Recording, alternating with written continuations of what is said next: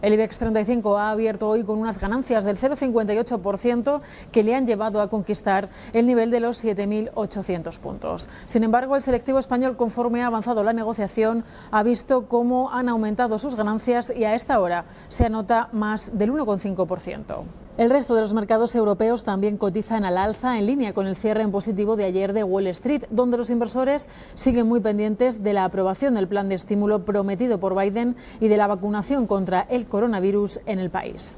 Por su parte, las principales plazas asiáticas han cerrado la sesión de hoy con subidas. El índice principal de la bolsa de Tokio, el Nikkei, subió un 0,97%, mientras que Hong Kong avanzó el 1,03% y Shanghái el 0,89%. De vuelta al mercado nacional, las mayores subidas son para valores vinculados al turismo. Concretamente, AENA e IAG lideran los avances con subidas que superan los cuatro puntos porcentuales.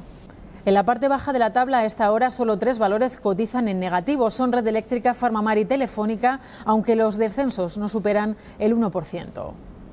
En otros mercados, la plata baja hoy un 5% y se paga a menos de 28 dólares después de que ayer se disparara a máximos de 8 años por los inversores minoristas integrados en diferentes foros de Internet.